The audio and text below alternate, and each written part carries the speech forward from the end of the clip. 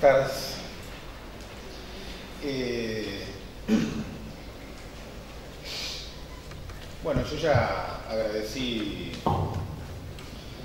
eh, cuando me invitaron para estar en esta mesa. Estoy en la situación esa ideal que sabemos que le hubiera gustado estar al doctor Macabar, que es hablar de lo último, luego de nutrirse de todo esto. Yo agradezco nuevamente y, con, las compañeras y compañeros de mesa la, oportunidad de estar en esta mesa. Tengo, eh, pienso que tengo pleno registro de la, importancia de las exposiciones que, se han hecho. Eh, tengo algunas ideas que, quiero comentar. Eh, el título de la mesa desarrollo, envejecimiento y capacidades de producción de conocimiento en el país. Yo vi ese título eh, me pareció muy complicado, elegí una estrategia que es eh, convertir en un sentido muy lato ese título en problemas, en dificultades. Esto es, salgo de la base de que nosotros en este país tenemos problemas con el desarrollo, tenemos problemas con el envejecimiento y tenemos problemas con las capacidades de producción de conocimiento. Eh, es, un, es, un, ejercicio que me permite plantear algunas eh, afirmaciones ante estos temas. Y en ese sentido eh, son afirmaciones, algunas más meditadas que otras, y como para para que, para que sean usadas para, para que otros puedan pensar en contra de estas ideas, como decía Bachelard, o para pensar en contra de estas ideas. Yo pienso que ubicado en este tema, eh, nosotros en el Uruguay tenemos un problema importante que tiene que ver con estas, eh, con algunas referencias, algunas categorías básicas que mencionó Batián. ¿no? Que tienen que ver con el, estudio y el trabajo. Pero cuando digo el estudio no me refiero al estudio específico de una carrera, de una formación específica. Me parece que el país tiene todavía, esto en la línea de, entonces acá está implícita una propuesta, de no tener instalada la lógica vinculada al estudio, no el estudio de los niños, no hablo de la escolarización, no el estudio de los sufridos estudiantes de enseñanza secundaria, no el estudio de los universitarios o técnicos. El estudio de la población centrado fundamentalmente en el aprender a aprender. No está instalado en el país suficientemente que hay una tarea central de, un, de una ciudadana, de un ciudadano, de un sujeto en un proceso emancipatorio de desarrollo de estar permanentemente aprendiendo a aprender. En segundo lugar, el trabajo. Batiana ha sido muy clara en todos los, los, eh, aportes de discriminación de, trabajo y empleo. Eh, yo podría decir de que con todos esos esfuerzos y con todos esos reconocimientos que yo hago todavía presiona como una losa muy pesada sobre nuestras cabezas la lógica del trabajo vinculado al empleo y la lógica del trabajo eh, reducido a un componente de mercancía. Cuando digo el trabajo me refiero a, la capacidad humana de, de producir, de transformar. Entonces, esto incluye, obviamente, todos los trabajos invisibilizados, eh, pero los trabajos humanos que van más eh, difícilmente, pero que se escapan a la lógica itineraria de la mercancía. El, trabajo, el trabajo militante, el trabajo eh, religioso, no estoy haciendo una convocatoria no, estoy apartándome de los lineamientos laicos, digo el compromiso de la gente con convicciones, la militancia social, política, el trabajo cotidiano de ayudar a tejer en un lío, en la cuadra, entre vecinos, a cómo construir una mejor relación. ese trabajo humano que hace que no seamos solamente transeúntes y que si hay un lío lo mejor recomendaría en forma políticamente correcta y cruzar para la vereda de frente. Entonces yo creo que ahí hay un tema central para mí que me, preocupa, que me... Esto opera como un paraguas sobre estos tres temas que menciona el título. Es decir, tenemos un problema con el desarrollo. Es decir, a ver, estoy haciendo una visión también, justo en esta mesa, muy lata del desarrollo. ¿A qué me refiero? Estamos en un contexto en donde el desarrollo tiene que ver con el desarrollo político. Creo que el elemento central hoy por hoy en la agenda en el país es esta clave de derecho. El desarrollo político para el, desarrollo de los sujetos, de las mujeres, de los hombres de este país, tiene que ver con que se desarrollen agendas y prácticas y políticas, se consoliden, se amplíen, se expandan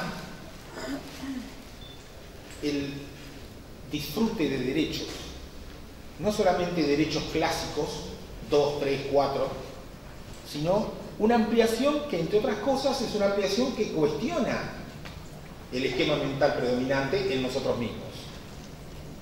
Cuestiona la forma tal de cómo es que esto es un derecho. Ah, yo tengo derecho a esto. Pero yo quiero mencionar también que, que, este desarrollo tiene que ver con un componente económico, y acá también quiero introducir algunas cosas quizá menos correctas políticamente. El, país está transitando, pero me parece que insuficientemente, eh, un, desarrollo económico. Y eso en diversos planos necesariamente requiere de la producción de riqueza. Obviamente ahí podríamos y podemos decir a qué nos referimos con producción de riqueza. Una producción de riqueza simbólica, una producción de riqueza cultural, una diversidad, una diversificación, una, densidad que haga que nos sintamos colectiva e individualmente y en ese orden más plenos, más ricos. Ahora, esto también tiene la necesidad de una producción de riqueza económica. Y yo creo que ese es un problema que tenemos en este país. Abandonada la pretensión, eh, abandonada en el sentido de nunca tenida, claro, eh, imperial de querer eh, someter a otros para apropiarles la riqueza que otros producen, eh, el país, junto con la redistribución de la riqueza, tiene que considerar, me parece, en otros planos, la necesidad de producción de riqueza. Cuando digo en este plano, estoy refiriéndome ahora a aspectos económicos itinerarios yo he debatido y debato en el ámbito universitario, que es la pequeña escala en donde me muevo, que para desarrollar eh, más becas para estudiantes, más becas para eh, poder hacer determinadas cosas, se necesita tener más recursos económicos financieros. Ahí el país ha estado cruzado en los últimos años por algunos debates en el marco de estos últimos dos gobiernos, que tiene que ver con el desarrollo de determinados proyectos eh, emprendimientos, eh, transformaciones de matriz productiva, transformaciones, eh, estoy pensando en puerto de agua profunda, transformar la matriz energética. tenemos debates que por el momento son debates que, que me parece que no son suficientes, porque es una convivencia de decisiones que determinadas parcelas van tomando, y por ejemplo, recientemente, legítimamente, democráticamente, una junta departamental de un departamento del país dice esta es un área libre de minería con determinadas características. Y obviamente que nadie quiere, supongo, yo no quiero, todas las consecuencias nefastas de determinadas transformaciones productivas. El tema está en si eh, determinadas transformaciones productivas y de producción de riqueza en clave de redistribución nosotros pensamos que pueden lograrse solamente con determinadas prácticas. Y yo quiero decir claramente que pienso que no. Este país tiene un tema con la producción de riqueza. Una producción de riqueza que le permita generar mayores de desarrollo para sus habitantes. Pero si no produce determinada riqueza, no podrá entrar en una etapa que no creo que sea segunda, que es simultánea, que es al mismo tiempo, que tiene que ver con la redistribución.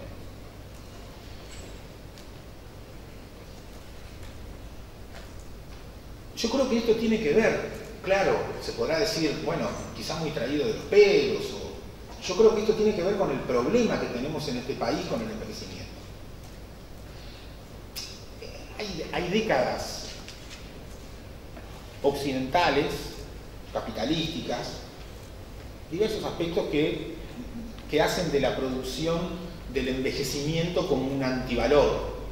Hay que invocar juegos de palabras, hay que invocar chistes, hay que hablar del vino, hay que hablar de que ejemplos de cosas añejas, viejas, para traerlo hacia los seres humanos, para entonces reforzar la idea de que las personas añosas, viejas, me gusta, cada vez, por la edad, cada vez más me gusta pensarme como viejo.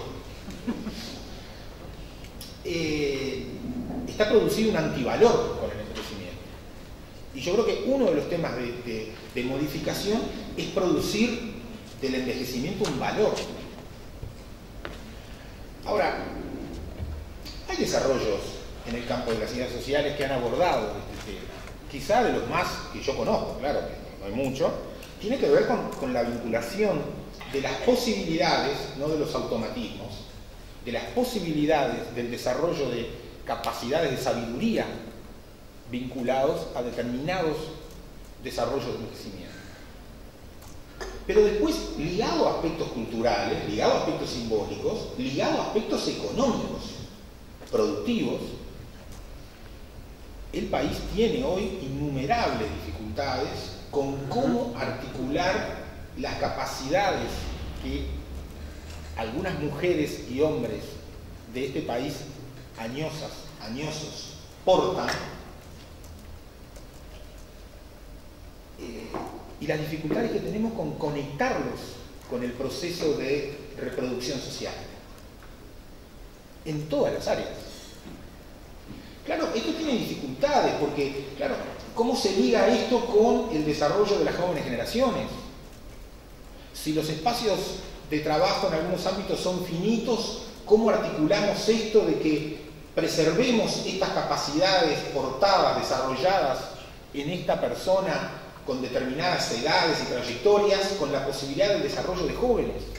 Yo no digo que sea fácil, pero es evidente que, es evidente para mí, que hay algo en el, en el contexto del país en donde no estamos resolviendo de la mejor manera la capacidad productiva, cultural, simbólica, eh, amorosa, diría yo, y económica de las mujeres y hombres viejas y viejos de este país.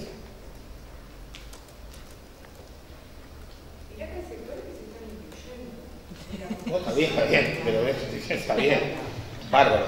Si a usted ya le provocó eh, intervenir desde ahí, bárbaro, permítame, y ya abrimos una ronda.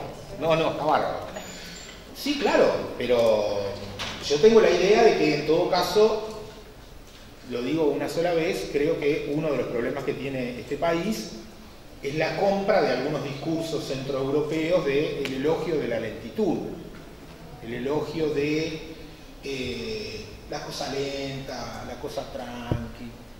Eh, este país necesita un elogio de la velocidad.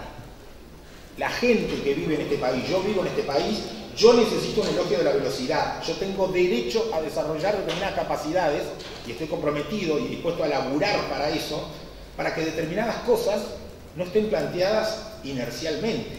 Yo escuchaba el planteo que hacía mm, Macadar de proyecciones de las posibilidades reales. Ya sabemos demográficamente que la población de este país, en números, más o menos, al 2030, 2040, no va a cambiar.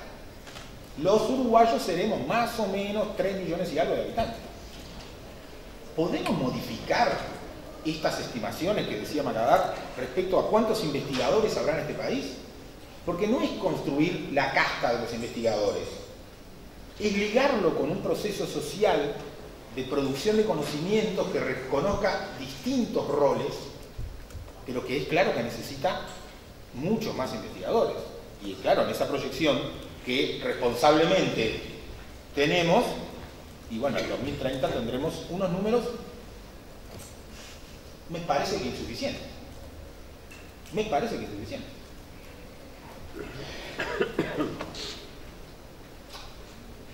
En tercer lugar, bueno, claro, capacidades de producción de conocimiento en el país. Y bueno, no digo mucho, nada muy original. Eh, la, cooperación. A ver, cuando, cuando, hablo de la cooperación, trato de, de, ligarlo con algún aspecto, con pretensiones de noción o de categoría. Estoy pensando en el trabajo colaborativo en Marx, o 150 años después en el coworking sajón, en la generación de espacios de trabajo no de iguales en roles, sino de gente distinta. Eso está en la base de la interdisciplina, de la integralidad, de producir conocimientos por problemas. ¿Por qué abordamos todo esto de la interdisciplina, la integralidad? Porque en realidad hacemos agua. Es decir, solos en el contexto disciplinar hacemos agua. la, necesidad que tenemos de la producción de equipos mestizos es porque necesitamos del mestizaje para producir conocimiento. Y no solo entre académicos, sino entre distintos actores sociales. ¿Cómo se instala una cultura en el país otro lugar para el trabajo colaborativo. No sé. Pero creo que el trabajo colaborativo de, otra manera, otra, otro impulso al mestizaje es necesario.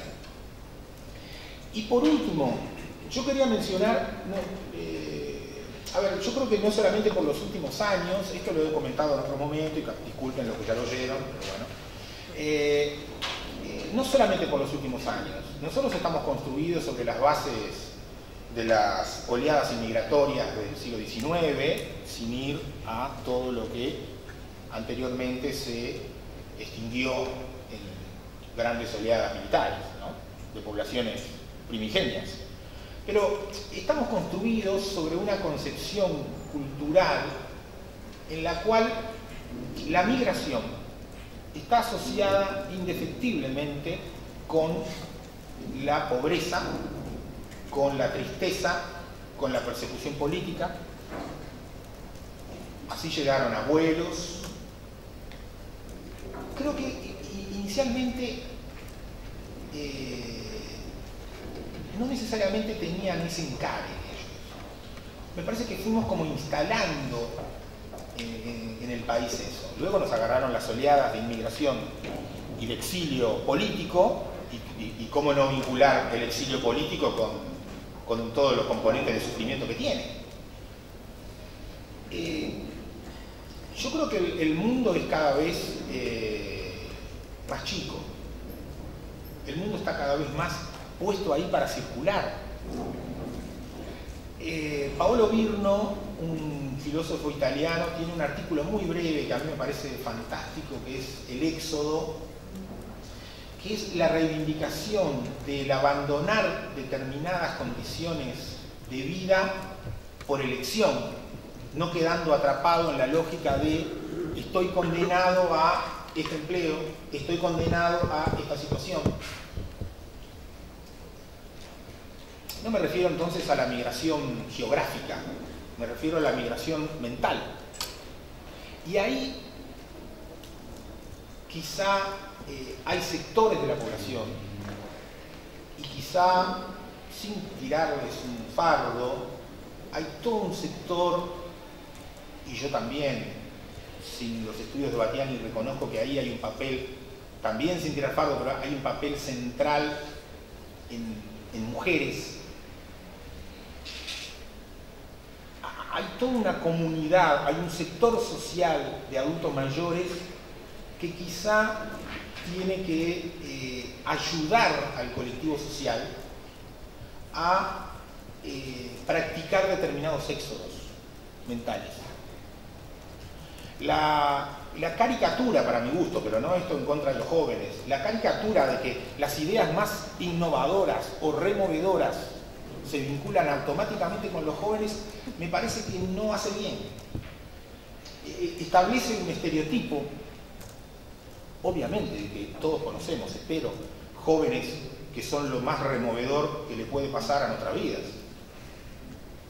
Pero en todo caso, eh, me parece que hay, que hay que generar un clima en el cual también, como en el envejecimiento, también en la innovación, en la creación, eso no esté ligado, por ejemplo, a un colectivo etario como los jóvenes o las jóvenes. Me parece que pensar en que la capacidad de promoción de ese éxodo mental a nuevas prácticas, a nuevas costumbres, a probar nuevas cosas, probar nuevas cosas. El país lo necesita. Es lo que yo pude